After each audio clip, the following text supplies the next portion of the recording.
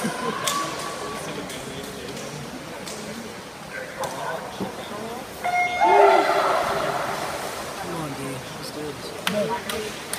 off for the Aggies, lane one, Superman two, Duncan Mulleady, lane four, Brock Bonetti, lane six, Anthony Kim.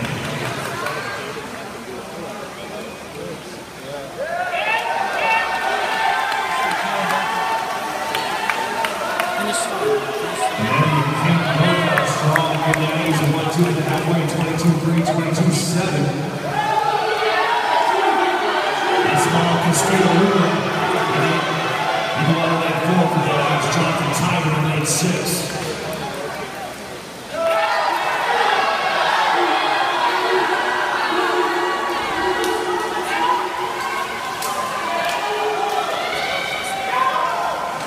Now he's still leading four on the street. Marlon Castillo. In the line the Aggies, Justin Morey.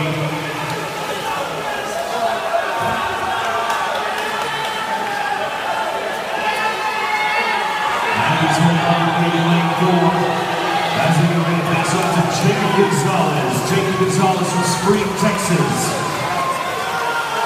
The lead the for the Aggies is Adam